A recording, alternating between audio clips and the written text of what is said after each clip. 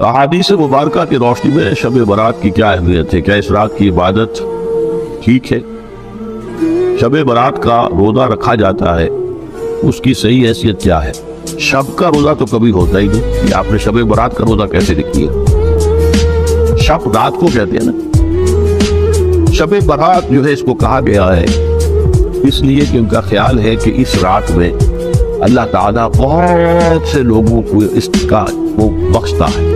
बरात। अल्लाह ताला जन्नम से उनको रुसदारी अता फरमाता इसके जिम्मत में सही अहादीस सिर्फ़ एक है। और वो ये है कि हज़रत आयशा सिद्दीक़ा रज़ी अल्लाह ताला बयान करती है एक रोज हजूर की मेरे यहाँ शबबाशी का की बारी थी, लेकिन मेरी रात को आँख खुली तो हजूर नहीं थे मौजूद।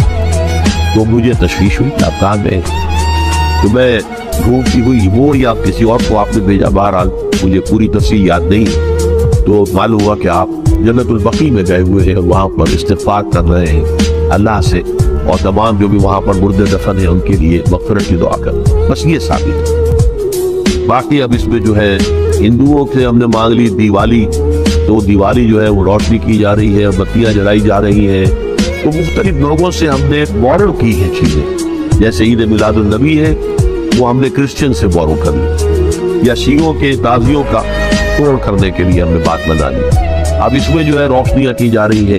ये दिवाली का गोया कि हमने तोड़ फराम किया है या उसका, उसकी नकल हम कर रहे हैं। ये चीज़ें नहीं, अलबत्ता नमाज़ रात की इबादत तो हर रात में बहुत आधा है। चलिए, अगर और दिनों में नहीं होता इस रात को आपको, क्योंकि हुजूर ने भी इस्तेफार किया खास तौर पर जाकर जन्नतुल बकी में तो अगर आप भी करें, नमाज़ पढ़ें और इस्तेफार करें तो क्या है? बहुत अच्छी बात है। इसमें तो कोई की बात है ही लेकिन इसे कोई त्यौहार की तरह मनाना, पटाखे छोड़ना और जो है वो रोशनी करना, ये भारत से ही नहीं रोजा भी चूँकि पंद्रहवीं शब होती है पंद्रवा दिन होता है फिर। इस एतबार से हजूर के मामूलात में था कि आज हर महीने की तेरह, चौदह, पंद्रह तारीखों में रोजा रखते थे। तो अगर आप ये नहीं करके रोजा रख लेते हो, क्या कहने नूरुल अला नूर है?